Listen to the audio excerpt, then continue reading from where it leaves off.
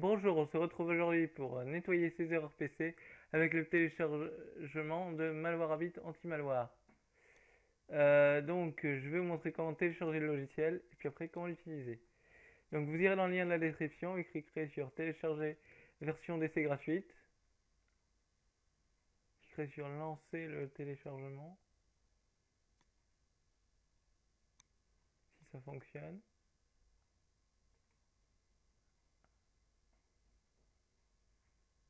Il y a des pubs, hein, mais c'est normal. C'est parce que... D'ailleurs, je vais vite fermer ça avant qu'il m'ouvre une pub avec du son. Euh, donc, on va aller donc dans voilà. je l'ai téléchargé, je sais pas combien de fois. On va retirer ces deux-là. On va aller sur celui-là, on fait exécuter. Un droit d'administration, vous est demandé, vous faites oui. Faites français, si vous êtes français, choisissez votre langue. Suivant, j'accepte les termes du contrat. Suivant, attendez. Voilà. Suivant, suivant. Vous créez une icône dans la barre de lancement rapide si vous voulez. Je vous conseille de créer une icône sur le bureau. Faites installer.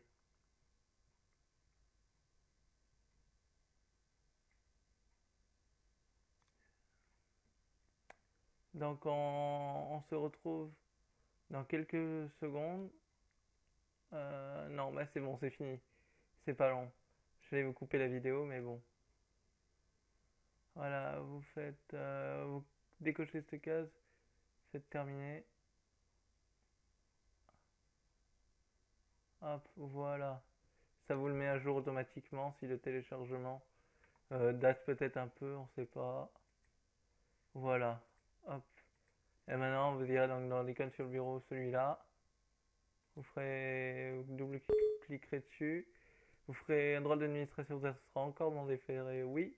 Ça demande à chaque fois en fait que vous lancez. Et là, vous arrivez ici, vous faites exécuter un examen complet.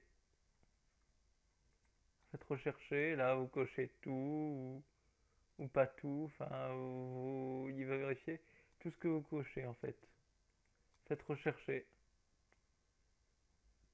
Euh, donc, euh, ben, euh, on se retrouve à la fin de l'examen pour voir comment supprimer les, les éléments infectés.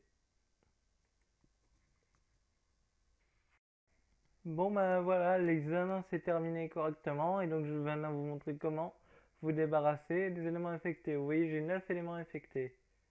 Donc je fais afficher les résultats. Je coche tout. Tout ce qui est possible de cocher. Hop. Et je fais supprimer la sélection.